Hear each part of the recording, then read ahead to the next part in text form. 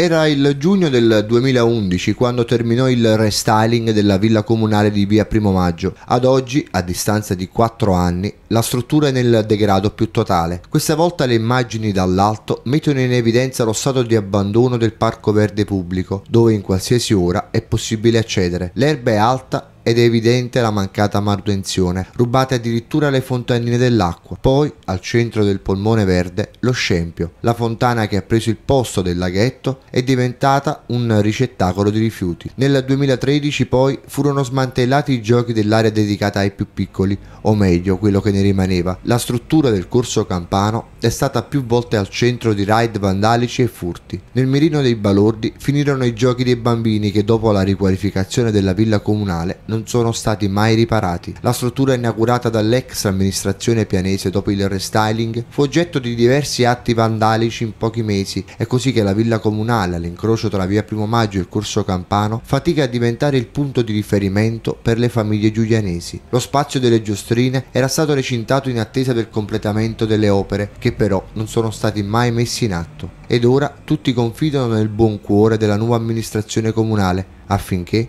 renda fruibile e sicura l'area verde.